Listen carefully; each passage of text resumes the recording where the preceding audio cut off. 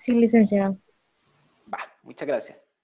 Entonces, este día vamos a ver la, consiguiendo con, el, con la unidad de parasitología que ya la habíamos iniciado, vamos a seguir siempre viendo protozoarios, pero en este caso con una particularidad de estos microorganismos, puesto que poseen un órgano, por así decirlo, en sus fases infectivas que recibe el nombre de ápice complejo o complejo apical, con cualquiera de las dos formas.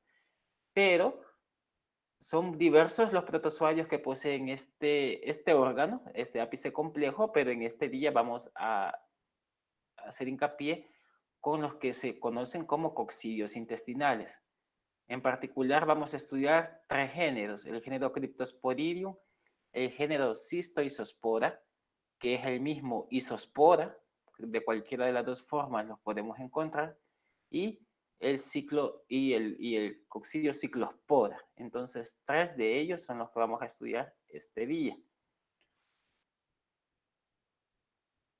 Bueno, los objetivos que los tienen ahí en su programa de estudio, ¿verdad? donde los pueden revisar eh, con detenimiento. Vamos a explicar las características generales de los protozoarios ápice complejos, algunos aspectos morfológicos y de la estructura general de un apicomplejo siempre de forma general, los ciclos de vida básicos de los coccidios intestinales, que el que vamos a estudiar con detenimiento como tal va a ser el del género Cryptosporidium, que puesto este se va a aplicar para los demás coccidios, algunos factores de patogenia más importantes de los coccidios, eh, las especies de mayor trascendencia médica de los coccidios intestinales, algunas patologías asociadas y algunas características epidemiológicas sobresalientes de los tres géneros. Entonces, como les decía, estos protozoarios tienen una particularidad de que las fases infectivas, que ya vamos a ver cuáles son, los estadios infectivos, tienen en su extremo anterior una estructura que se le conoce como complejo apical o ápice complejo. Entonces, con base a eso, fue que los agruparon, ya sea en un filo o un subfilo, ¿verdad? Y por eso se les conoce más que todo como apicomplexa. Entonces, dependiendo de la literatura, y de la, y de la clasificación, ¿verdad? De la persona que haya hecho esa clasificación taxonómica, lo pueden encontrar como filo apicomplexa o subfilo apicomplexa. Entonces, con base que dijimos a, ese organito, ¿verdad? Que se llama ápice complejo. Por eso está clasificado dentro de ese filo o subfilo y de ahí su nombre. Estos microorganismos tienen la particularidad de que son parásitos intracelulares, prácticamente obligados, ¿verdad? Por lo tal, como tienen que sobrevivir dentro de una célula hospedera, entonces, por lo tal, no podemos encontrar formas de vida libre en el ambiente, como tal vez los pueden haber otros protozoarios, que, como sabrán, tal vez han, habrán escuchado en el caso de algunas amebas de vida libre, ¿verdad? Que pueden causar enfermedad en el humano, que se encuentran en los estanques, más que todo de aguas templadas, pueden causar enfermedad y son organismos de vida libre. Pero en este caso, los coccidios, en este caso intestinales, no son organismos de vida libre, puesto que necesitan a ley eh, subsistir dentro de una célula, ¿verdad? Son parásitos intracelulares. Estos en general también, estos apicomplexa, ¿verdad? No poseen organelos de locomoción. O sea, no poseen flagelos, no poseen cilios, no poseen pseudópodos, como tal vez los pueden poseer algunos protozoarios. Salvo la excepción de un género, el género Cistoisospora, que un estadio de gametocito puede poseer flagelos. El estadio de gametocito del género cistoisospora puede poseer flagelos. y ahí en general diríamos de que ningún protozoario de los apicomplexa posee organelo de locomoción. Entonces vendría la pregunta, ¿y cómo se moverían estos organismos? Entonces, estos se mueven a través de la contorsión o deslizamiento de su cuerpo, ¿verdad? Entonces, a través de esos movimientos de contorsión, como que fuera una especie de culebrita, si lo queremos ver así, ¿verdad? Contorsionándose él mismo, entonces así él va avanzando o se puede mover, pero como organelos de locomoción como tal, no los posee. La distribución de los apicomplexa es cosmopolita, es decir, se encuentra en todo el, mundo. También estos poseen una gran cantidad de reservorios, ya vamos a ver dentro de ellos está el humano. Pueden haber mamíferos, pueden haber rumiantes, pueden haber reptiles, pueden haber peces, pueden haber, etcétera, una infinidad de ratones, de reservorios, ¿verdad? Pero hay algunos que sí pues son propiamente del género humano y otros que sí pueden ser eh, afectar o animales y también ser enfermedades zoonóticas como tal. Entonces vamos a poner atención cuáles son aquellas que sí son zoonóticas y cuáles no, ¿verdad? Entonces, ¿por qué el término apicomplexa? Ya lo habíamos mencionado, ¿verdad? Por el órgano que posee en su extremo anterior, que se llama ápice complejo, y que ese le sirve para penetrar a la célula que, está, que quiere parasitar, en este caso. ¿Verdad? Vamos a ver que también los ciclos de vida de estos apicomplexas son sumamente complejos. No es un ciclo de vida como si habrán revisado la clase de amebas, que es un sencillo, si lo queremos ver desde ese punto, que únicamente vemos que interviene una forma infectiva que se le llama quiste, ¿verdad? Y una forma vegetativa, ¿verdad? Que es la que causa la lesión en el hombre, que se le conoce como trofozoito. Y solamente tenemos esos dos estadios. Ya vamos a ver acá, de todos los apicomplexas que vayan viendo en el curso, van a ver que los, los ciclos evolutivos, ¿verdad? Los ciclos de vida son sumamente complejos. Y ya vamos a ver el ejemplo con Cryptosporidium, que es un poquito más complicado. Como les mencionaba, decimos que estos protozoarios pertenecen al filum apicomplexa, ¿verdad? Por este órgano. Permítanme, vamos a ver aquí. Por este órgano que tenemos acá, esta es una microscopía, de, microscopía electrónica de, de barrido, ¿verdad? Donde pueden observar en el extremo anterior esta estructura en general, que es lo que se le conoce como ápice complejo o complejo apical. ¿verdad? La función principal de él prácticamente es que la célula, eh, infectiva, ¿verdad? La, que tiene capacidad de infectar, pueda penetrar a la célula hospedera. Entonces, ese complejo apical, que aquí lo pueden ver acá también con lo que decía la microscopía electrónica, está conformada por varias estructuras, ¿verdad? Entonces, dentro de ellas está un anillo polar, que es la parte más distal que tenemos y anterior, perdón, la parte más anterior del, del, de la, de la apicomplexa, ¿verdad? Tenemos un conoide, tenemos la película, que la película en realidad es, es todo lo que rodea a la célula. En este caso van a poner atención cuáles protozoarios son los que tienen membrana citoplasmática y cuáles no poseen y cuáles poseen película. Que prácticamente la función es la misma, siempre delimitar a la célula, pero las películas son teóricamente un poco más rígidas en comparación con las membranas citoplasmáticas. Entonces, están también los microtúbulos subpeliculares, que lo que está diciendo acá, ¿verdad? Que son estructuras fibrilares que están por debajo de la película, ¿sí? y que prácticamente si sabemos los microtúbulos entonces son como proteínas contráctiles, ¿verdad? Entonces, del citoesqueleto, si lo queremos ver así, del que conforman a la célula, entonces y que por la contracción de esos microtúbulos es que se contorsiona el parásito como tal. También tenemos estructuras que se le conocen como micronemas, ¿verdad? Y las rópteras, que están siempre muy ligadas, tanto las micronemas como las rópteras están sumamente ligadas porque ambas eh, vesículas, por así decirlo, almacenan lo que son las enzimas que favorecen la penetración de el apicomplexa como tal. Si ustedes se fijan, las rópteras aparecen estas vesiculitas que van a desembocar al anillo polar, ¿verdad? En la parte más anterior de el apicomplexa. Y entonces prácticamente estos elementos son los que constituirían el, el ápice complejo. También tenemos acá esto que se le conoce como el nombre de microporo, que no es más que una invaginación de la película y que se cree que tiene la función de ser una boca celular.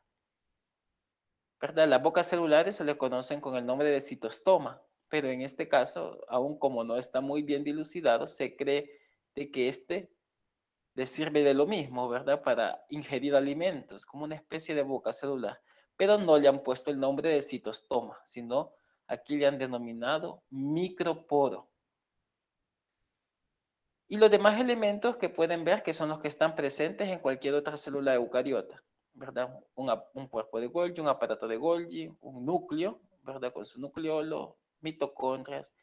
Y en este caso también un un anillo posterior, ¿verdad? Que si se fijan tenemos dos, un anillo anterior, el anillo anterior que está en el, en el complejo apical, ¿verdad? Y el anillo posterior que está en la parte más distal. ¿verdad? Entonces, si ustedes se fijan, este ápice complejo tiene la forma, mencionan los libros, de cono truncado.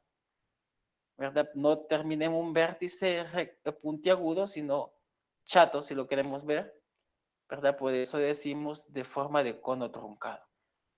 Entonces, estructuras propiamente que conforman el ápice complejo, el complejo apical, vean los anillos polares, el conoide, los microtúbulos subpeliculares, los micronemas y las rópteras, ¿verdad? Que ya habíamos mencionado la función de ambas estructuras, ¿verdad? Para la secreción de las enzimas que favorecen la penetración de eh, de los ápices complejos. Ahora bien, no todos los estadios de los apicomplexa poseen complejo apical o ápice complejo. Solo lo poseen las formas infectivas, las formas o estadios que van a parasitar o quieren penetrar una célula hospedera.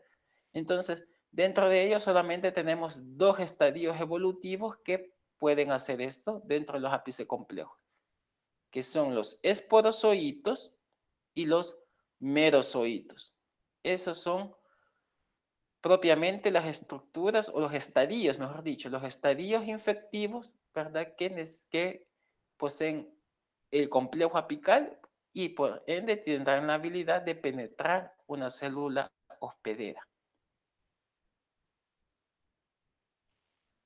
Aquí podemos observar eh, la taxonomía de este grupo de parásitos, ¿verdad? Que siempre perteneciendo al imperio eucariota, ¿verdad?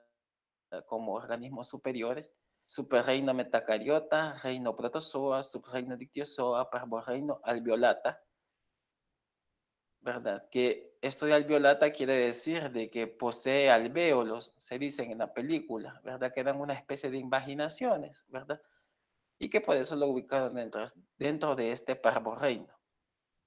Y lo que les decía, en el filum que estamos apicomplexa, ¿verdad? En este caso nosotros vamos a estudiar la clase Eucoxidia propiamente, ¿verdad? Porque vamos a estudiar al género Cryptosporidium, Isospora y el ciclospora, también, que no, aunque no está aquí, pero es el que se va a estudiar dentro de este orden de los eucoxidios, ¿verdad? Pero también dentro de los ápices complejos para que veamos también que hay otros organismos de importancia médica que también son ápices complejos, no solo los coccidios intestinales que vamos a ver ahora. Coccidios intestinales que causan enfermedad en el humano tenemos Cryptosporidium, Isospora y Ciclospora. Y también tenemos otros ápices complejos, también como eh, que poseen ápices complejos como sarcocistis, toxoplasma, ¿verdad? Gente causal de la toxoplasmosis, sarcocistis, de la sarcoidosis, plasmodium, ¿verdad? También, que causa la malaria. Y también dentro de algunos piroplásmidos también está babesia y teileria, ¿verdad? Que son también eh, microorganismos intracelulares.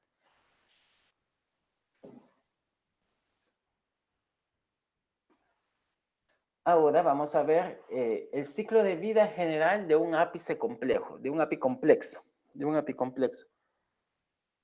Como les decía, los ciclos evolutivos, los ciclos de vida son sumamente complejos, porque verán que estos protozoarios pueden cumplir tanto una reproducción sexual y asexual. Creo que hasta donde han visto hasta ahorita con las amebas, por ejemplo, ustedes se han dado cuenta que ahí el tipo de reproducción que tienen las amebas es netamente asexual. En cambio aquí cumplen las dos, sexual y asexual, ¿verdad? Entonces vamos a partir de que por la fusión de un gameto masculino y de un gameto femenino, ¿verdad? Se produce lo que es un cigoto, al igual que como se produce en el humano, ¿verdad? Y después este cigoto que se ha formado sufre, sufre perdón, un ciclo es que se llama esporogonía o ciclo esporogónico para que se generen esporozoitos. Y como les mencionaba, los esporozoitos tienen complejo apical porque es un estadio efectivo para las células hospederas. Después este esporozoito, ¿verdad? Cuando ya ha penetrado una célula hospedera, se puede diferenciar en merozoito. Y este merozoito, dentro de la célula hospedera, va a generar un ciclo que se le llama ciclo merogónico o esquizogónico. Cualquiera de los dos términos es correcto. O una merogonía o esquizogonía. Entonces, ese esporozoito se diferenció a merozoito y realiza un ciclo esquizogónico o merogónico para generar múltiples y una gran cantidad de merozoitos. Ahora, esos merozoitos pueden invadir otra célula hospedera y generar otro ciclo esquizogónico, ¿verdad? Y producir otra vez gran cantidad de merozoitos y así sucesivamente, ¿verdad? Pero puede ser que algunos merozoitos no quieran estar siguiendo el ciclo merogónico, ¿verdad? Entonces, a lo que a veces se le conoce como un, un switching fenotípico, ¿verdad? Entonces se puede activar y decir, ok, ya no quiero seguir produciendo merozoitos. Hoy quiero realizar ya una fase de reproducción sexual. Entonces, el merozoito, un merozoito, se puede diferenciar a la producir gametos, ¿verdad? Entonces, ¿cómo se le conoce eso? Como gametogonía, ¿verdad? A la formación de gametos masculinos o femeninos, o macrogametos y microgametos, entonces se le conoce con el nombre de gametogonía. ¿sí?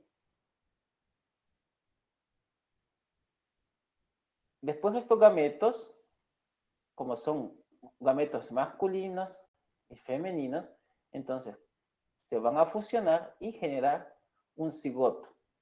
¿verdad? Entonces, a la fusión de los gametos masculinos y femeninos para la formación de un cigoto, ya una célula diploide como tal, porque recordemos que los gametos son haploides, entonces se le llama gamontogamia. Dentro de este ciclo podemos observar que el ciclo esporogónico, ¿verdad? donde se generan esporozoitos, y el ciclo merogónico o esquizogónico son ciclos de reproducción asexual.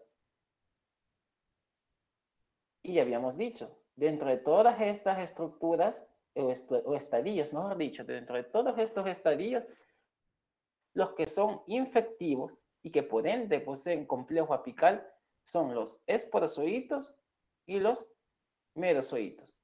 Estos dos estadios son los que tienen la habilidad de infectar células.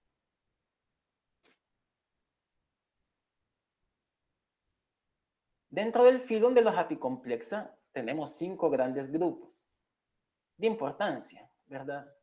Médica tenemos quizás acá a los coccidios y a los hemosporidios y piroplasmas, pero también están las hemogregarinas y las gregarinas. ¿Verdad que las hemogregarinas son ápices complejos que parasitan animales de sangre fría, como reptiles, peces y anfibios? Las gregarinas eh, infectan a lo que son moluscos, los coccidios que pueden infectar al ser humano y otros animales también, ¿verdad? Como ratas, ganado, etc. Los hemosporidios también, ¿verdad? Pueden infectar al humano y a cualquier otro mamífero, al igual que los piroplasmas. ¿verdad? Dentro de los hemosporidios está presente el género Plasmodium.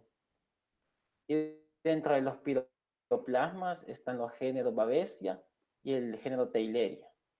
Pero el que nos interesa acá es este grupo, ¿verdad? Coccidio, ¿verdad? Que la etimología quiere decir caja. Coccidio quiere decir caja. Entonces, porque vamos a ver que hay una estructura homóloga a los quistes, como lo vieron en las amebas, que reciben el nombre de ooquiste, ¿verdad? Entonces, el ooquiste prácticamente su función es ser una cajita protectora de esporozoitos, que ya lo vamos a ver más adelante. Ahora sí, dentro de este grupo, ya dejando la generalidad de los ápices complejos en general, porque todo lo que vimos anteriormente es generalidades de los apicomplexa, de ese grupo o filum o subfilo apicomplexa, todas esas características generales. Ahora de ese grupo anteriormente extraemos este, que son los que nos interesa para esta clase, que le denominamos coccidios. Ahora, también al igual que los apicomplexa, como pertenecen dentro de este subfilum, es un amplio grupo de microorganismos patógenos y que a la vez son parásitos intracelulares, al igual que los apicomplexa en general. Ahora, tenemos una clasificación de los coccidios, ¿verdad? No a cuestiones moleculares, sino a una, desde una perspectiva patológica o como ellos causan enfermedad en el humano, ¿verdad? Entonces tenemos tres grupos de coccidios. Los que son coccidios intestinales, que son los que vamos a estudiar ahora, los tres géneros que les mencioné al inicio, Cryptosporidium, Ciclospora e Isospora. Tenemos los coccidios gastrointestinales y tisulares, es decir, que también pueden infectar tejidos, no solamente el intestino, tenemos al género Sarcocystis, ¿verdad? Y los que son propiamente coccidios tisulares, o sea, que únicamente infectan tejidos, tenemos al género Toxoplasma, ¿verdad? Que también de este se va a tener una clase en particular para Toxoplasma gondii. Ahora, cuando decimos que son microorganismos monoxenos, ¿alguien se recuerda qué significa esto de monoxeno? Que lo vieron en la clase de generalidades de parásitos.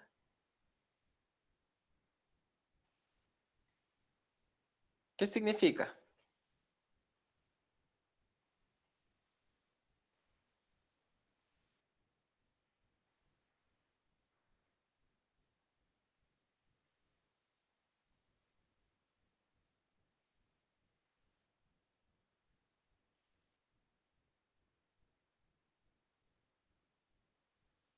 Es cuando este es un parásito que cumple su ciclo evolutivo en un solo hospedador.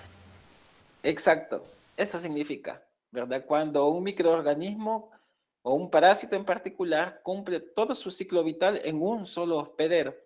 Van a ver que es importante eso en la parasitología, que sepamos vamos, los ciclos biológicos de los parásitos.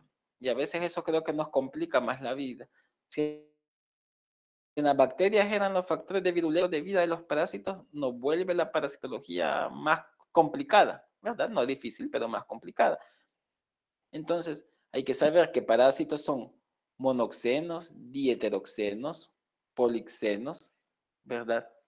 Entonces, pero como usted ya mencionó, monoxeno, que quiere decir uno, mono, uno, ¿verdad? Entonces cumple su ciclo vital. Todos los coccidios intestinales cumplen todo su ciclo vital dentro de un solo hospedero. ¿Verdad? Y lo mismo, deben de saber que es un hospedero definitivo, un hospedero intermediario, un, un hospedero paratécnico, un hospedero accidental, ¿verdad? Lo que son vectores mecánicos, vectores biológicos, etcétera, etcétera.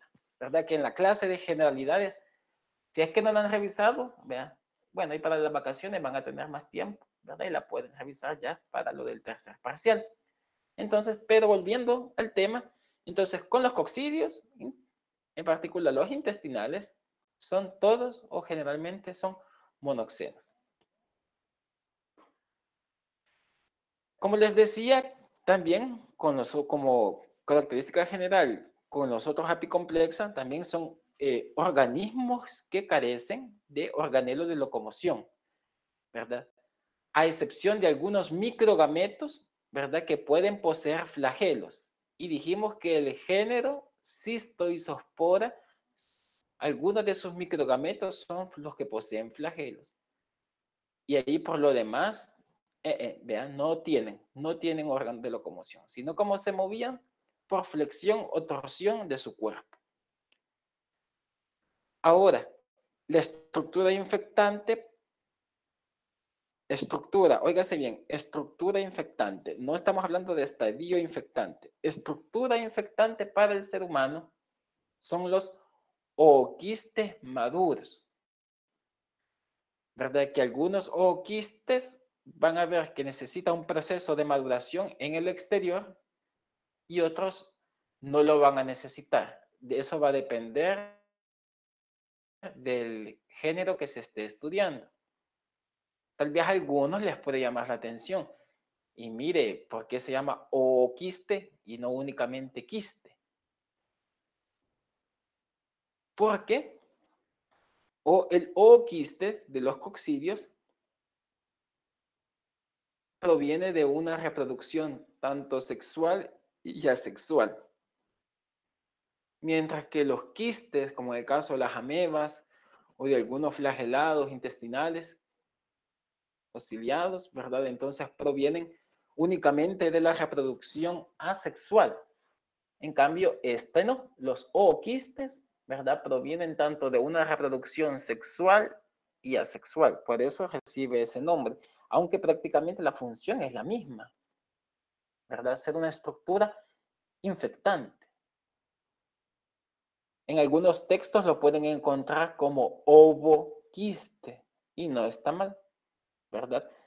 Esto sí, de que cuando se pregunte en alguna situación como escribe el nombre de la estructura infectante de los coccidios para el humano, ¿verdad? Siempre hacemos énfasis en eso, que debe de estar maduro, ¿verdad? Porque si no se puede entender de que puede estar inmaduro, e inmaduro no sirve como tal para ser infectante para el humano. Entonces dejamos eso claro. Entonces, si decimos que la estructura infectante es el ooquiste maduro, ¿verdad? Que algunos pueden salir maduros en las heces, otros, como les digo, no. Otros necesitan maduración en el ambiente. Y ya vamos a ver cuál es el género que necesita maduración en el ambiente. Entonces, ¿qué es, ¿cuál es en realidad el estadio infectante? El estadio infectante propiamente es el esporozoito, si se recuerda. Porque posee el complejo apical, al igual que los merozoitos, pero dentro del ooquiste, ¿verdad? Dentro del ooquiste estarán presentes los estadios infectantes, ¿sí? Que es, en este caso son los esporozoitos.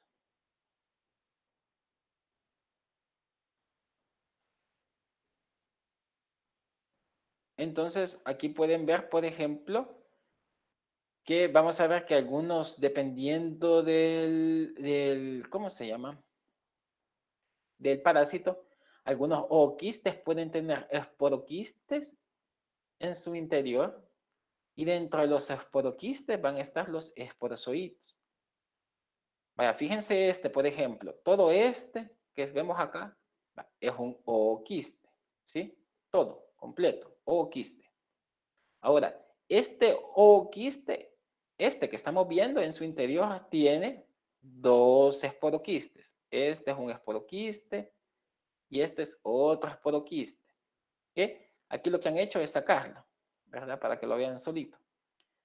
Y dentro de cada esporoquiste se encuentran los esporozoitos, que en este caso hay dos. Si ustedes se fijan, hay dos esporozoitos dentro de un esporoquiste. Entonces, dentro de la clasificación de los coccidios, eso nos ayuda para la identificación cuando hacemos el diagnóstico, ¿verdad? Porque tenemos que prestar atención cuántos esporoquistes hay dentro de un ooquiste y cuántos esporozoitos hay dentro de un esporoquiste. O puede ser también el caso de que hay eh, coccidios de que no tienen esporoquiste, que solamente están los esporozoitos dentro del ooquiste y es lo que se le conoce como un, un esporozoito desnudo, que son esporozoitos desnudos porque no están dentro de un esporoquiste. Entonces, vamos a prestar atención con estos tres géneros, cómo es que va distribuido eso. Y recalco, ¿verdad? En este caso, el estadio infectante es el esporozoito, ¿verdad? ¿Cuál otro estadio dijimos que tiene habilidad de ser infectante también? Porque tiene la habilidad de penetrar células, de los que mencionamos, aparte del esporozoito.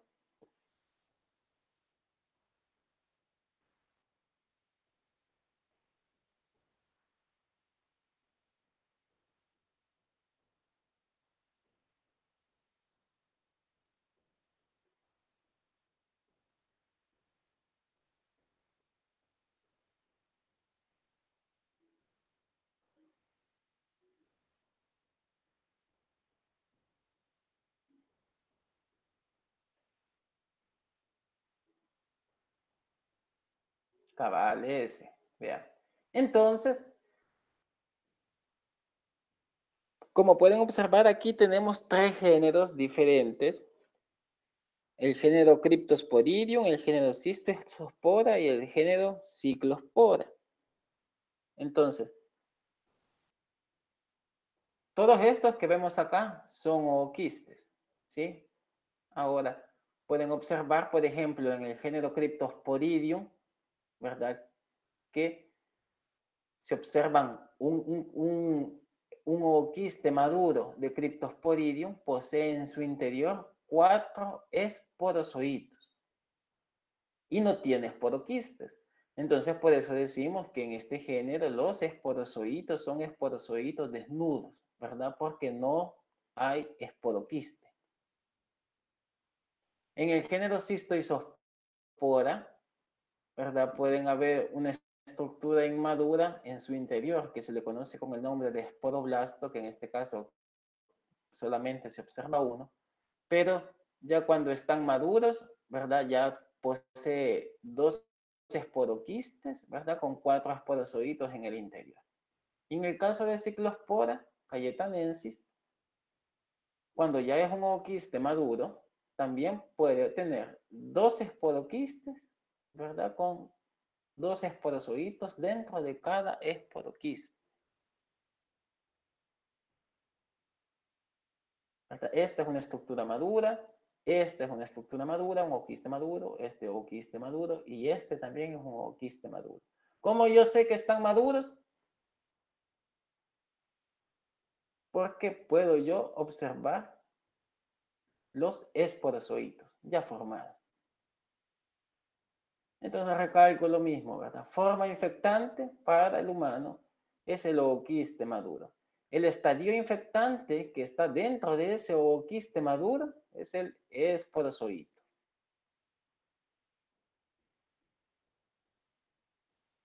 Ahora vamos a estudiar detenidamente al género Cryptosporidium, ¿verdad? Cryptosporidium. Siempre dentro de los coccidios intestinales. ¿Cómo se denomina la enfermedad que causa? Puede ser criptosporidiosis o criptosporidiasis, que es lo mismo. Se dice de que es una zoonosis parasitaria. ¿Por qué es una zoonosis? Que ya lo vieron también en qué discusión estaba esa terminología de zoonosis. Creo que estaba en, en esta tres, parece, que creo que se menciona las enfermedades zoonóticas, pero que también ya lo hemos visto en algunas clases, ¿verdad? Todas aquellas enfermedades que afectan a los animales y que también pueden afectar al ser humano y que pueden ser transmitidas al ser humano. Entonces, la criptosporidiasis dentro de estas enfermedades que son zoonóticas. En, eh, animales, ¿verdad? Eh, como el ganado, ¿verdad? La pueden adquirir y que bajo algunas circunstancias, entonces el humano la, las puede también adquirir, ¿verdad? O algunos mamíferos también las poseen, los criptosporidium, y se la pueden transmitir al humano. Entonces, este científico, Tyser, en 1907, fue el que hizo estos descubrimientos de este grupo, de este, de este género, perdón, en ratones, ¿verdad? Y se le denominó Cryptosporidium muris. Porque hizo esas observaciones en ratones. En la actualidad se dice de que es una enfermedad reemergente o sea, es una enfermedad que siempre ha estado presente con el ser humano, pero que ha reemergido como tal y se ha vuelto causa de enfermedad habitual o relativamente habitual en seres humanos por la pandemia del VIH. Entonces, esto ha vuelto a hacer de que los números de casos aumenten más. Pero hay que llevarnos la idea también de que no solamente causa enfermedad en los inmunodeprimidos, ¿verdad? Sino también en excepciones pueden en los inmunocompetentes causar enfermedad. Y dentro de los inmunocompetentes, quizás en niños, en niños pequeños y en ancianos causan enfermedad. Pero se ha visto casi siempre que está más asociado a inmunodeprimidos. ¿verdad? Incluso en pacientes VIH, como les decía. Algunos consideran a la criptosporidiasis como enfermedad marcadora de VIH. Si alguna, algún paciente, por ejemplo, le hacen diagnóstico de criptosporidium, ¿verdad? El médico lo que debería de pensar es, bueno, ¿y esta persona tendrá VIH? ¿Verdad? o si está dentro del rango normal de las edades, ¿verdad? Por ejemplo, nuestra edad, por ejemplo, y le hacen ese, un examen general de ese y le observan este parásito, entonces tendrían que pensar, ¿será que este paciente tendrá VIH o no? ¿O está pasando algún cuadro de inmunosupresión? ¿Verdad? Pero eso el médico es lo que lo evalúa. Si han dado brotes epidémicos, Sí, se han dado muchos brotes epidémicos. Quizás el más importante fue el que se dio en Milwaukee, que creo que fueron alrededor de 450 mil casos por la contaminación hídrica, ¿verdad? del, del agua potable. Entonces prácticamente una ciudad completa se infectó porque se contaminaron las aguas. Entonces, aquí la transmisión hídrica juega un papel muy importante para la adquisición de criptosporidium.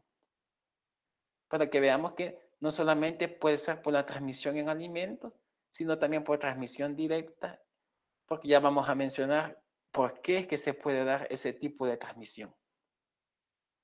En la actualidad, se acepta la existencia de 16 especies de criptosporidium dentro de las cuales las que se han asociado al humano es Cryptosporidium parvum y Cryptosporidium hominis, las dos, los dos, las dos especies principales que pueden infectar al ser humano, pero no son las únicas. Entonces, por cuestiones de diagnóstico, cuando se observan los ooquistas de Cryptosporidium, nosotros únicamente podemos diagnosticarlo a nivel de especie, de género, perdón, de género.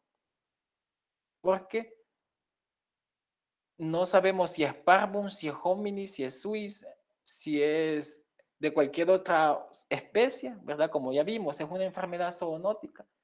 Entonces no sabríamos decir o determinar solo con aspectos morfológicos a qué especie pertenece. Pero ya por estudios epidemiológicos, ¿verdad? Y de biología molecular, se saben de que estas dos especies son las que están más vinculadas a causar enfermedad en el humano. Anteriormente se decía que la única era Cryptosporidium parvum, pero en la actualidad se sabe que no es la única especie que causa enfermedad en el humano, entonces ya no podemos decir que todos los ooquistes de Cryptosporidium que se observen en esos humanos son de Cryptosporidium parvum, sino pueden ser de cualquier otra especie, de cualquiera de estas 16 subespecies, especies, perdón, puede ser las que se observan. Como les mencionaba, este género tiene una gran variedad de hospederos, una amplia variedad de reservorios animales.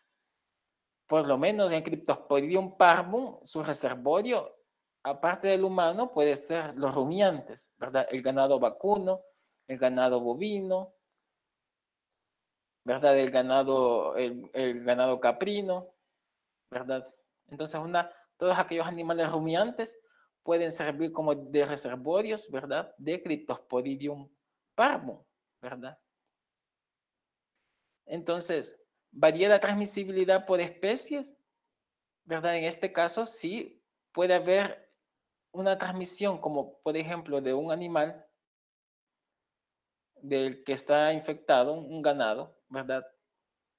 Y que contaminan esas heces de ese ganado vacuno, por ejemplo, las aguas, se puede infectar muy bien el ser humano, ¿verdad? Entonces puede haber una transmisibilidad entre diferentes especies, por ser una zoonosis como tal. Ahora, ¿dónde es que se va a localizar este parásito? Como mencionamos, que son parásitos intracelulares, ¿verdad? Tienen que parasitar, en este caso, las células epiteliales. ¿Pero de dónde? Del tracto gastrointestinal y del tracto respiratorio se ha visto. Principalmente tracto gastrointestinal. Pero no estamos, hasta hace poco, ¿verdad? Se ha visto de que puede infectar también el árbol respiratorio. Entonces, y causar hasta una especie de neumonía pero también en pacientes inmunodeprimidos. Pero lo principal sería esto, el tracto gastrointestinal. El género Cryptosporidium, ¿verdad? Tiene oquistes, ¿verdad? Pero tiene oquistes, pero que en su interior posee cuatro esporozoitos desnudos. ¿Por qué decíamos que son esporozoitos desnudos? porque no están dentro de un esporoquiste. O sea, sí están dentro de un, de un.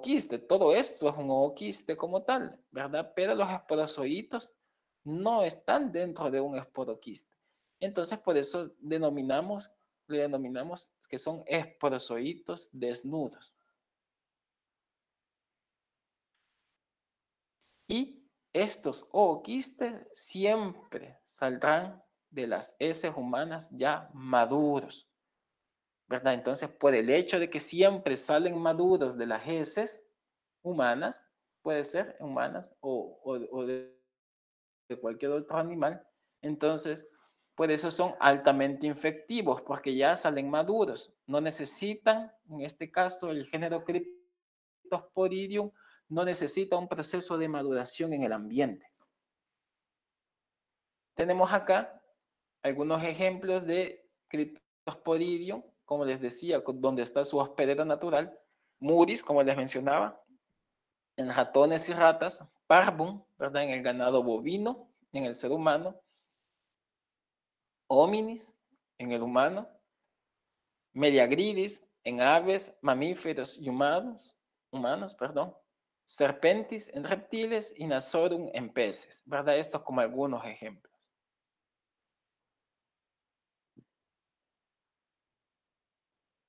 Entonces, el estadio endógeno, ya dentro de una célula epitelial en el ser humano, se le va a conocer con el nombre de trofozoito. Y como les mencionamos, como son parásitos intracelulares, pero son intracelulares, pero a su vez extracitoplasmáticos. Si ustedes se fijan acá, este, que es el trofozoito, tiene el estadio de trofozoito, que está dentro ya de una microvillosidad intestinal, está dentro de la célula, pero fuera del citoplasma. Si ustedes se fijan, no está en contacto con el citoplasma, pero está dentro de la célula. Entonces, por eso decimos que son el trofozoito, ¿verdad? de Cryptosporidium o de cualquier otro coccidio intestinal, son intracelulares, pero extracitoplasmáticos. No están en contacto para nada con el citoplasma, ¿verdad? Solo vemos que a través de esta llamada zona de adhesión es que se, está, hay una pequeña relación, ¿verdad? De la vacuola parasitófora donde está contenido el trofozoito, ¿verdad? Con el citoplasma de la célula hospedera. Y a la vez íntimamente ligado ese órgano alimentador del trofozoito cerca de la zona de adhesión para que pase los nutrientes, ¿verdad? Del citoplasma, porque si no se va a morir de hambre, ¿verdad? Pero para que pase los nutrientes hacia el trofozoito y cumpla el, su ciclo vital, como vamos a ver más adelante.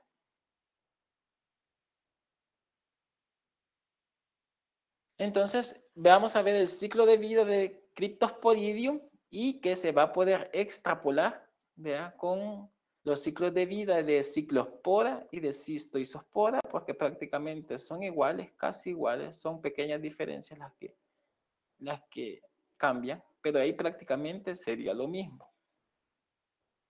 Entonces decíamos, la estructura infectante es el ooquiste maduro. ¿verdad? Ese es el que está presente, que puede estar en agua contaminada, en alimento contaminado, ¿verdad? Ahora se cree que hasta en el polvo también puede estar presente y transmitirse de vía por vías aéreas, ¿verdad? En cualquiera como sea la situación, como se adquiera de forma directa o indirecta, el ooquiste debe de estar maduro y que siempre va a salir maduro de la heces. Entonces, dentro de cada ooquiste ya dijimos, hay cuatro esporozoitos, ¿verdad?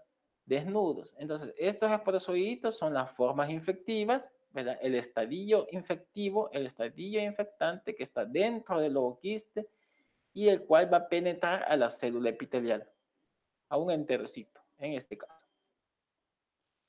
Entonces, dentro del enterocito, el esporozoito sufre un proceso de diferenciación ¿verdad? Y se transforma en trofozoito. Entonces, acá el trofozoito vemos que ya está dentro de su vacuola parasitófora de forma intracelular y extracitoplasmático, como mencionamos en el esquema anterior. Entonces, después, este trofozoito va a sufrir un proceso también ya de diferenciación para hacer el primer ciclo esquizogónico o merogónico para formar el meronte tipo 1. ¿Sí? Dentro de cada meronte hay merozoitos, ¿verdad? Y ahí viene su nombre, meronte tipo 1. Entonces, estos este meronte tiene en su interior merozoitos y estos merozoitos pueden salir y volver a infectar otra célula epitelial, formar nuevamente un trofozoito y generar otra vez otro ciclo esquizogónico. Y estar generando así merontes tipo 1. Pero puede ser también de que el merozoito, un merozoito, no quiera seguir con ese ciclo y sufra otro proceso de diferenciación y a formar un meronte tipo 2 ¿Cuál va a ser la diferencia entre un meronte tipo 1 y un meronte tipo 2? Va a ser el número de merozoitos que hay en el interior de cada meronte. Ustedes se fijan, hasta se ilustra acá.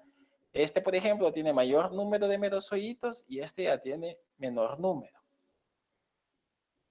Pero ya, si, si, si este merozoito que provino de ese meronte tipo 1 se diferenció a un meronte tipo 2, va nuevamente a liberar merozoitos, pero ya estos merozoitos van a sufrir un proceso de diferenciación, ¿verdad? Para generar lo que se le conoce como un, un gamonte. En este caso vemos un gamonte indiferenciado, ¿verdad? No se sabe qué gametocito va a generar, si un macho o un hembra. Entonces, este gamonte indiferenciado, que provino de este merotozoito, ¿verdad? Del meronte tipo 2, entonces va a formar un, micro, un microgamonte y un macrogamonte. ¿Sí? Y este microgamonte va a generar microgametos, ¿verdad? Y el macrogamonte, ¿verdad? Va a ser un macrogameto, que no se ve acá pero un macrogameto. Los microgametos, ¿verdad? Los microgametocitos o microgametos, en este caso, van a ser las células, eh, los gametocitos machos, ¿verdad? Y los macrogametocitos van a ser los gametocitos hembras. Y como habíamos visto al inicio de la clase, estos se van a fusionar, ¿verdad? Que son estructuras haploides para generar una estructura ya diploide que recibe el nombre de cigoto. Entonces después este cigoto va a sufrir un, va a sufrir un ciclo esporogónico para generar ya en su interior esporozoitos y formar ya los ooquistes. Tenemos dos ooquistes que se pueden generar en el caso de Cryptosporidium. Aquellos ooquistes que son de pared delgada, ¿verdad? Y los ooquistes de pared, de pared gruesa. Este de acá es un ooquiste de pared gruesa, ¿verdad? Que son los que se excretan en las heces. Y como les, les decía, siempre salen maduros. O pueden ser ooquistes de pared delgada, que estos son los encargados de la autoinfección. Entonces, ni siquiera son tan delgaditas y frágiles sus paredes que ni pueden salir por las heces, sino lo que único que hace es volver a autoinfectar a otras células epiteliales del intestino, ¿verdad? Y generar este ciclo. Entonces, puede el humano tanto adquirir un quiste de pared gruesa que proviene del, de aguas contaminadas, de alimentos contaminados, etcétera, del ambiente, ¿verdad? O puede también autoinfectarse, ¿verdad? Pero, ¿quién es el que interviene en esto? Los que son los ooquistas de pared delgada. Ahora, decíamos que como son parásitos intracelulares de las células epiteliales, estas pueden parasitar cualquier célula epitelial del tracto digestivo, Fíjense bien, desde la orofaringe hasta el recto. Prácticamente todo el tubo digestivo puede estar parasitado. Orofaringe, faringe, esófago, estómago, todo. Pero lo más frecuente es que se encuentran parasitando los enterocitos del intestino delgado y del intestino grueso. Esto es lo, como lo más común, que esté parasitando estas células epiteliales, los enterocitos del intestino delgado o del intestino grueso. Pueden haber, haber otras localizaciones ¿verdad? que son raras, por así decirlo, pero siempre del, del aparato digestivo, como puede ser la vesícula biliar, como puede ser el estómago, los conductos biliares o conductos pancreáticos. También ya mencionamos que pueden haber infección también del árbol respiratorio, ¿verdad? del tracto respiratorio, incluso hasta mucosa conjuntival, ¿verdad? Respiratorio, si no ya es del ojo, ¿verdad? Y la tráquea, que siempre forma parte del árbol bronquial. Pero estas son excepciones. Y más que todo el tracto respiratorio, como dijimos, va a ser si llega a haber o causar enfermedad, es en personas inmunodeprimidas, en inmunocompetentes no es habitual que afecte el árbol respiratorio.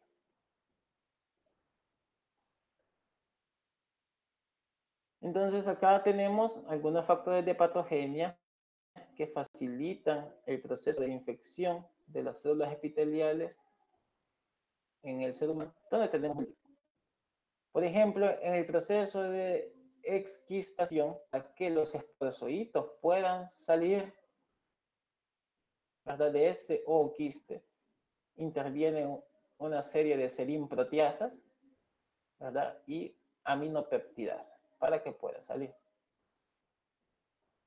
Para los procesos de adhesión o de locomoción tenemos varias proteínas que ustedes se fijan. CSL, la glucoproteína 900, glucoproteína 60, 40, 15, proteína 23, proteína 30, una TRAP-C1, ¿verdad? Que estas son trombospondinas, etcétera. Tenemos diversas acá. Entonces, ¿qué le favorecen los procesos de adhesión o de locomoción. Para los procesos propiamente de invasión, CP2, CPA135, fosfolipasas, H4, etc. Y para la super, supervivencia hospedero y para la multiplicación intracelular tenemos otra serie de proteínas, ¿verdad? Dentro de ellas tenemos esta, esta cisteín proteasa y esta acetilcoenzimo sintetasa, también que favorece la multiplicación intracelular. Y otra serie de proteínas, ¿verdad? Todas estas que ya habíamos mencionado, ¿verdad? La circunsporozoito, que es la CSL, donde está presente en la superficie de las células epiteliales. en realidad no, no es las células epiteliales, sino la superficie de los merozoitos y de los esporozoitos, pero que se va a ligar a un receptor específico de las células epiteliales. ¿verdad? Esta GP900, que ya la, ya la habíamos mencionado, presentes en los micronemas de los esporozoitos y merozoitos.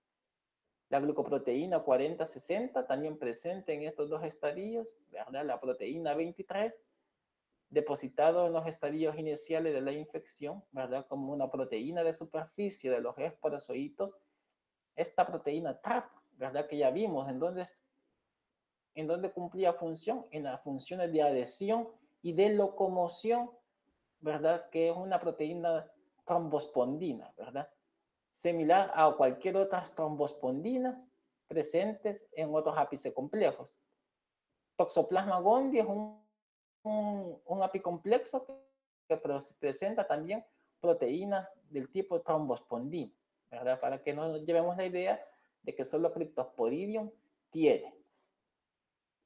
La proteína H4 que rompe la membrana de la vacuola parasitófora, ¿verdad? Para dejar salir los merozoitos cuando el parásito está cumpliendo el ciclo esquizogónico, mergónico y otras como esta, ¿verdad? La HSPS, proteína de shock térmico, que funcionan como chaperonas para el transporte de proteínas, ¿verdad? Facilitando la biosíntesis de nuevas proteínas.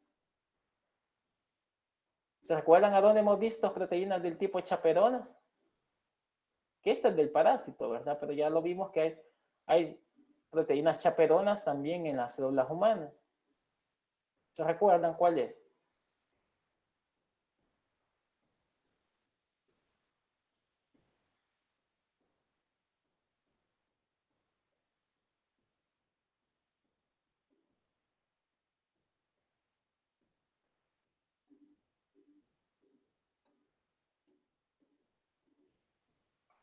Entonces tenemos otras patologías asociadas a la infección por Cryptosporidium, que lo principal es prácticamente que haya una afección del tracto gastrointestinal, que ya dijimos que afecta desde la orofaringe hasta el recto, ¿verdad? Entonces ahí puede estar presente. Lo principal es que provoca el cuadro de gastroenteritis, ¿verdad? De diarrea una diarrea del tipo coleriforme, sumamente acuosa, sin mucus, sin sangre y sin leucocitos. Eso sería lo habitual. Excepcionalmente puede presentar apendicitis, ¿verdad? Como cuadros atípicos, o también pancreatitis, si hay afección ya de los conductos pancreáticos. O si afecta el tracto biliar, como podemos ver en que puede afectar los conductos biliares también, puede provocar una colangitis esclerosante también. Y también ya mencionamos que en pacientes inmunocomprometidos, ¿verdad? O inmunodeprimidos puede afectar el aparato respiratorio y provocar una especie de neumonía. La distribución de este agente es universal, se encuentra en todo el mundo. Ya dijimos que principalmente afecta a pacientes inmunocomprometidos, ¿verdad? Principalmente a los que padecen VIH ya que están en fase SIDA, ¿verdad? Como una enfermedad marcadora, se lo considera. Es como nosotros, sí puede afectarlos, ¿verdad? Pero ya mencionamos que dentro de los inmunocompetentes, ¿verdad? Quizás los grupos etarios que más llegar a afectar es a niños y ancianos. Que no es, son inmunocompetentes, pero no es que su sistema inmune esté como muy bien funcionando a su 100%, ¿verdad? Pero no es que estén sumamente inmunodeprimidos como tal vez lo puede estar un paciente con una infección de VIH. Ya vimos que puede infectar una gran variedad de animales, ya pueden ser domésticos, ¿verdad? O salvajes. La transmisión puede ser del tipo directa o indirecta, ¿verdad? Directa como fecal oral, ¿verdad? Por ese mecanismo de, de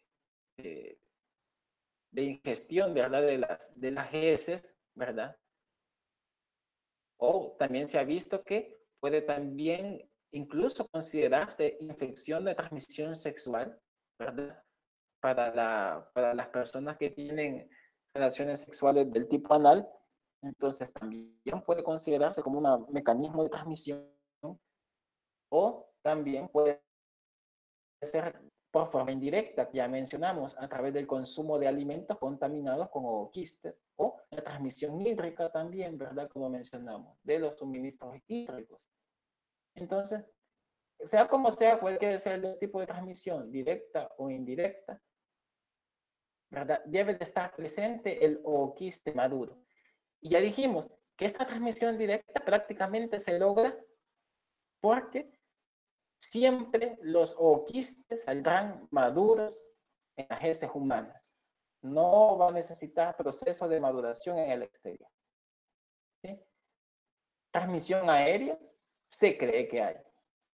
Porque si llega a afectar, estamos hablando de que hay infección del tracto respiratorio en pacientes inmunocomprometidos, pero que no han sufrido infección intestinal entonces, ¿cómo lo adquirieron? Entonces, lo más probable es que haya sido una, transmisión del tipo aérea. Entonces, para que veamos, porque son altamente infectivos, los zooquistes de Cryptosporidium, porque siempre saldrán maduros. Factores que favorecen el impacto directo, ¿verdad?, de estas infecciones el tamaño tan pequeño de esta estructura que se van a dar golpes de cabeza cuando lo vean en, el microscopio, que si es una levadura, que si es un artefacto, o si es un kit, ojalá tal vez tengan la oportunidad de verlos, ¿verdad? Entonces van a ver lo sumamente difícil que es poderlo identificar en una preparación al fresco. Entonces, porque su tamaño es muy pequeño resistencia de condiciones ambientales, ¿verdad? Que posee este, un organismo muy resistente a las condiciones ya sea de desecación, ¿verdad? O de pH. La eliminación de la forma infecciosa, ya dijimos que siempre saldrá maduro en las heces humanas. Ya vimos la gran cantidad de reservorios que pueden haber de este género, que no solo está el hombre, pueden haber otros tipos de animales. La ubicuidad, presente en cualquier sitio, ¿verdad? Que esté contaminado, obviamente con esos oquistes. Cadencia de especificidad de especie, ¿verdad? No es que una especie particular eh, solamente va a infectar la especie hominis, como pensaban al principio, o la especie carbon solamente al humano, no, sino puede haber múltiples especies ¿verdad? que pueden causar enfermedad en el humano porque dijimos que es una enfermedad zoonótica. Posee una alta tasa de multiplicación, también puede resistir a múltiples desinfectantes, ¿verdad? A desinfectantes clorados, ¿verdad? Como la lejía, por ejemplo, y la dosis infectiva, que puede ser bien variable. Hay personas que llegan a sufrir criptosporidiosis por ingestión de únicamente 10 quistes. Y hay personas que se pueden infectar o presentan cuatro clínicos cuando se infectan con mil quistes. Entonces vemos esa, esa amplitud ¿verdad? de dosis infectiva.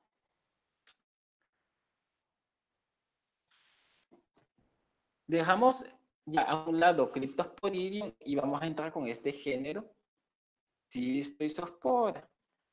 ¿Verdad? Que es el mismo isospora. De cualquiera de las dos formas lo pueden encontrar. Cistoisospora belli o isospora belli. Cualquiera de las dos formas con que lo escriban es correcta por el momento, ¿verdad? Porque casi se está haciendo como una transición a este nombre ¿verdad? Que se está como haciendo más común el uso de este, de este género, más que es, por lo menos la CDC de Atlanta utiliza este, Entonces, como saben ustedes, ¿verdad? La CDC, como ente rector, ¿verdad? De cuestiones microbiológicas en Estados Unidos, utiliza más ese término. Entonces, este coccidio intestinal también un protozoario emergente, al igual que el criptosporidio, ¿verdad? También asociado fuertemente a infecciones por VIH, a pacientes con VIH. También es uno de los tantos microorganismos que causan diarreas del viajero. Ustedes ahí cuando termine el ciclo van a sacar cuáles microorganismos causan diarreas del viajero y Cistoisospora beri es uno de ellos es específico del hombre, ¿verdad? Y por lo tanto es su único reservorio y la única fuente de infección, ¿verdad? Un paciente que tenga ciclosporidiasis o ciclosporidiosis va a ser el reservorio. De este microorganismo, ¿verdad? Cistoisospora es única del humano. No es como vimos con el género Cryptosporidium, que era diferente. Entonces, la morfología de este quiste que vemos acá, de este coccidio, ya dijimos, posee una forma elipsoidal, como ustedes se fijan acá, ¿verdad? Una forma elipsoidal, y puede salir ya sea maduro o inmaduro de las heces humanas. Cryptosporidium dijimos que salía, siempre sale maduro, Aquí isospora no, puede salir maduro o inmaduro. Este ooquiste de isospora, yo puedo decir de que es un ooquiste inmaduro. ¿Por qué? Porque no observo esporozoitos en su, en su interior. ¿Y qué es esta estructura entonces? Homogénea que hay en el interior. ¿Verdad? Es, se llama esporoblasto. ¿Verdad? Se llama esporoblasto. Es un esporoblasto y este es otro esporoblasto, ¿verdad? Y en el interior de, cuando este esporoblasto se diferencia a esporoquise, ya pueden haber esporozoitos en su interior y aquí se observan, miren, los esporozoitos que menciona la literatura que tienen forma de banana, los esporozoitos. Y aquí hay cuatro esporozoitos en cada esporoquiste. Entonces tenemos que los oquistes maduros de Isospora belli tienen en su interior dos esporoquistes y cada esporoquiste en su interior tiene cuatro esporozoitos. Si está inmaduro, ¿qué es lo que se observa en su interior? Puede ser un esporoblasto o dos esporoblastos. El ciclo de infección es muy similar al de Cryptosporidium, ¿verdad? Lo que se necesita es la ingestión de ese oquiste maduro, ¿verdad? Y se daría ese ciclo de reproducción tanto sexual como asexual, como se vio en Cryptosporidium, prácticamente igual, hasta la eliminación, ¿verdad? De el en las heces. Ahora, como les decía, se puede eliminar maduro o inmaduro. Y si es inmaduro, entonces sabemos que necesita un proceso de maduración en el ambiente. ¿Sí?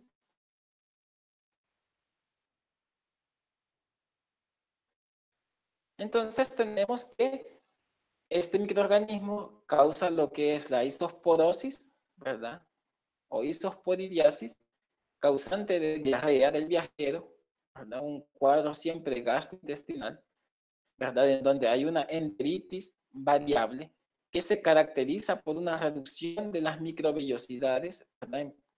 El borde del cepillo, ¿verdad? De los enterocitos, hay prácticamente una reducción de esas microvellosidades. Entonces, eso es como un, un, cuadro típico ¿verdad? de isosporiasis, aunque saben ustedes que hay otros microorganismos que también pueden producir lo mismo. No necesariamente solo la isospora belli hace esa, ese, esa, ese cuadro o produce eso, ¿verdad? la reducción de las microvellosidades de los enterocitos. Entonces, el mecanismo patogénico que desarrolla este parásito es la destrucción celular, ¿verdad? Por la misma multiplicación de él, ¿verdad? Y por la liberación de mediadores proinflamatorios. Entonces, eso es lo que causa prácticamente a nivel del tracto gastrointestinal, en particular del intestino. Entonces, va a producir un cuadro febril, ¿verdad? Por la producción de esos mediadores inflamatorios, ¿verdad? Y a la vez un proceso inflamatorio en la mucosa intestinal. Entonces, eso va a producir lo que es la diarrea. También es un microorganismo cosmopolita, ¿verdad? Se encuentra en regiones tropicales y subtropicales, así como nuestro clima. Se encuentra en pacientes inmunodeprimidos, ¿verdad? Como paciente VIH, ya dijimos, también en pacientes inmunodeprimidos que es, eh, neoplasias hematológicas. de por sí una neoplasia hematológica es lo que inmunodeprime a un paciente. La fuente de infección, ya dijimos, siempre va a ser el hombre enfermo, ¿verdad? Y en algunas situaciones puede ser portador crónico de la isospora. La transmisión puede ser directa o indirecta. ¿Por qué decimos directa o indirecta? Porque ya vimos que puede salir madura, ¿verdad? O inmaduro también en ajeces, ¿verdad? Entonces, también puede ser que por contaminación fecal oral se adquiera, que sería ya una forma directa, o una forma indirecta, ¿verdad? Puede ser también cuando haya contaminación de frutas, verduras, ¿verdad? Etcétera, de algún alimento. También siempre es un microorganismo monoxénico. Todo su ciclo vital cumple en un solo hospedero. En este caso, el único es el humano. Y se dice que es una enfermedad que puede autolimitarse, ¿verdad? Ella espontáneamente puede resolver y curarse el paciente por sí solo. O permanecer de forma crónica en algunas personas.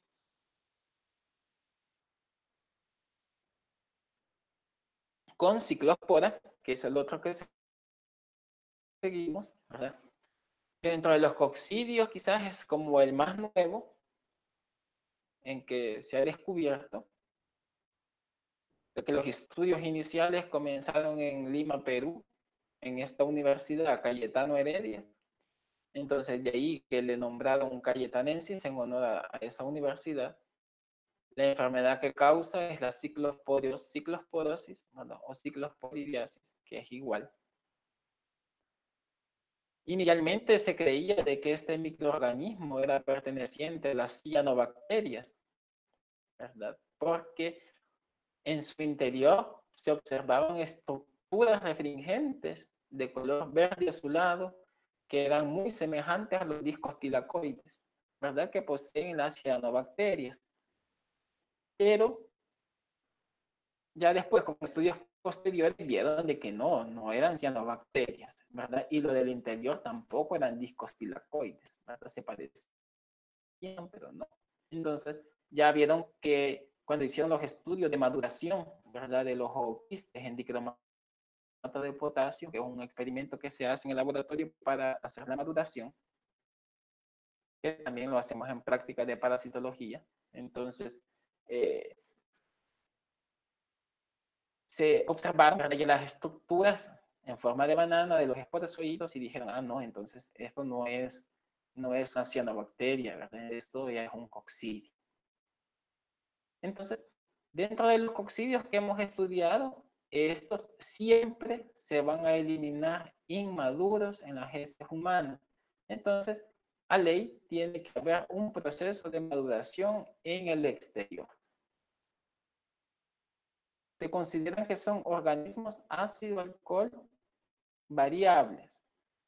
¿verdad? Cuando se hace una coloración de Sil-Nielsen, ¿verdad?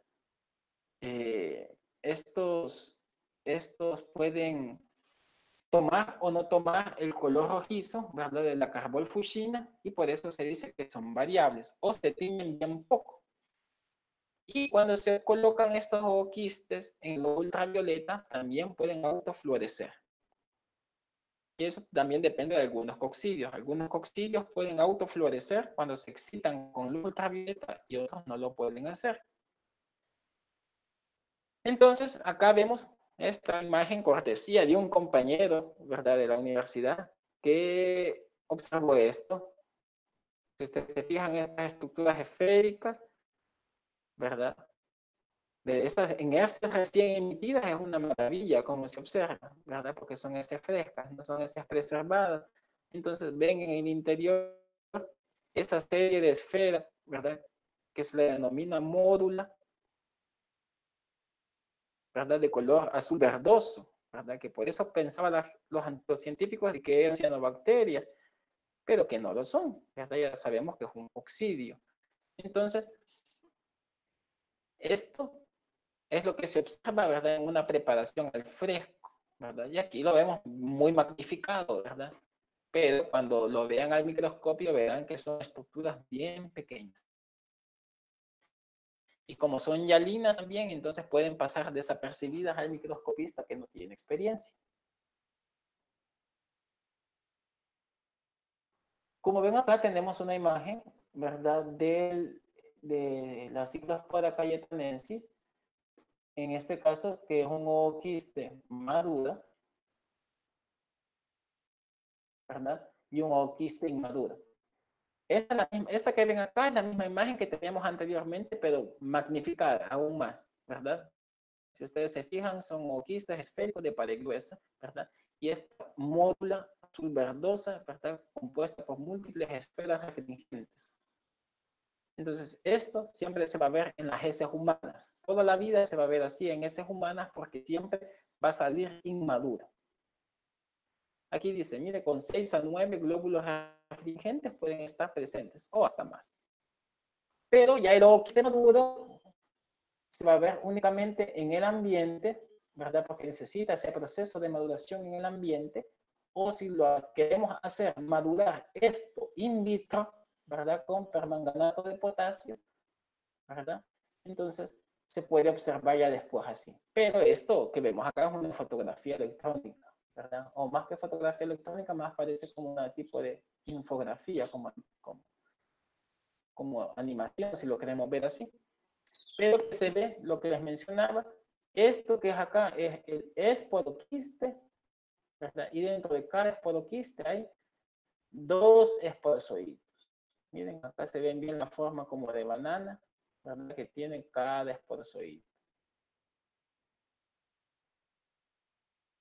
El ciclo, ¿verdad? Siempre debe ser la ingestión de ese oquiste maduro, ¿verdad? Oquiste maduro en el ser humano, ¿verdad? Y sufrir ese ciclo de reproducción sexual y asexual, al igual que isospore criptosporidium en el intestino humano, hasta la emisión de los oquistes inmaduros a las de las ¿verdad? Y debe de sufrir ya ese proceso de maduración en el ambiente, ¿verdad? y que puede contaminar múltiples alimentos y a la vez también el agua. Entonces, ha sido asociado a frambuesas, ¿verdad? A la albahaca como alimentos como tal y al agua, ¿verdad? Contaminada, con o quistes ya maduros. A las frambuesas chapinas le echaban la culpa, ¿verdad? De unos brotes que hubieron en Estados Unidos, ¿verdad? Pero como recuerden de que este tipo de frutas, frambuesas y fresas, no pueden ser lavadas en las, en las, en las hortalizas, ¿verdad? Porque si no se pudren, entonces deben de ir así, como con tierrita. Pero se deben de lavar al momento de consumirlas, ¿verdad? Pero hay gente de que tal vez solo las corta y se las come así nomás. Entonces aquí vienen esos casos, ¿verdad? De, de estas frambuesas, ¿verdad? Guatemaltecas contaminadas.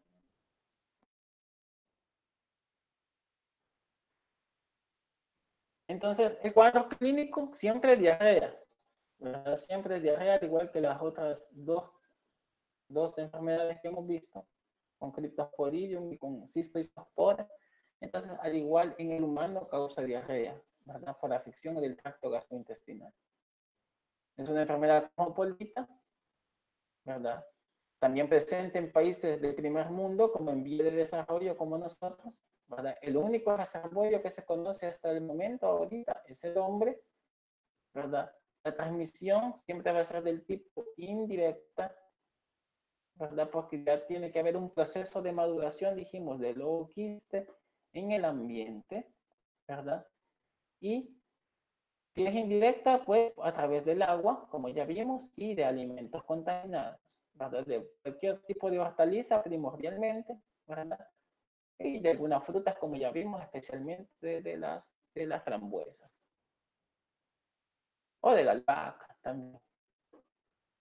Entonces, los oquistas maduros dijimos que necesita, estos van a estar en el ambiente, porque tiene que sufrir ese proceso de maduración en el ambiente, y que por lo tanto no hay transmisión directa de humano a humano, ¿verdad? Porque tiene que haber proceso de maduración en el ambiente. Los brotes epidémicos que se han visto últimamente han sido los relacionados, como les decía, a las frambuesas guatemaltecas, pero no es mala propaganda, ¿verdad? Pero tal vez más de alguno va a esos viajes de campo o va a paseo, más que todo a Guatemala y, anda ya viendo eso en Antigua, donde están esos sembradillos y solo se mete uno la fruta de ahí la boca. Entonces, no, ¿verdad? Para pensarlo un poco más. La salsa de albahaca o de pestos de albahaca también, ¿verdad? Y también la contaminación con agua, ¿verdad? De agua potable, al igual que las otras tres. Ya vimos que la transmisión hídrica juega un papel importante en la adquisición de cualquiera de estos, de estos coccidios. Entonces acá tenemos algunos aspectos de diferencias, ¿verdad? Entre los ooquistes de Cryptosporidium, de Isospora y de Ciclospora, donde vemos que el tamaño es uno. Dentro de los tres el más pequeño de todos los ooquistes, de los coccidios intestinales, Cryptosporidium, es el más pequeño de todos. Después le sigue Ciclospora y después le sigue Isospora en tamaño.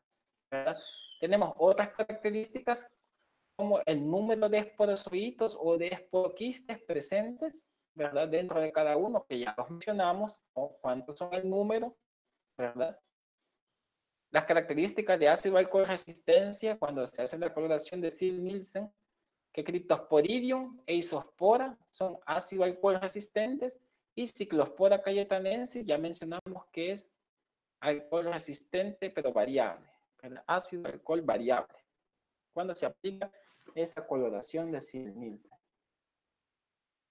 Como pueden ver, este Cryptosporidium todos los que son, se ven de color rojo, todo ese tipo podidium, ¿sí? Ya van a ver cómo le, nos da dolor de cabeza identificarlos con estas coloraciones, incluso coloreados, cuesta identificarlos.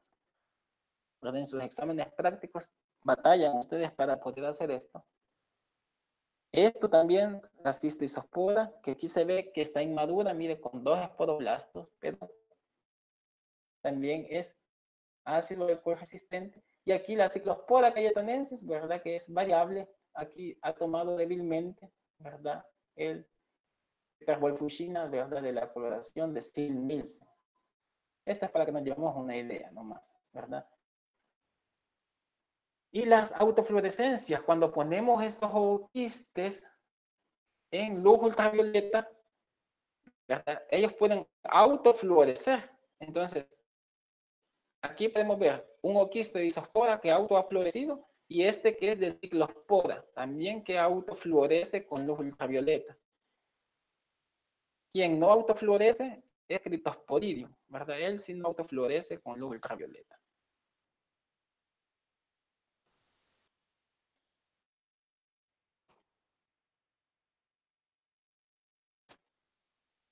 Bueno, entonces prácticamente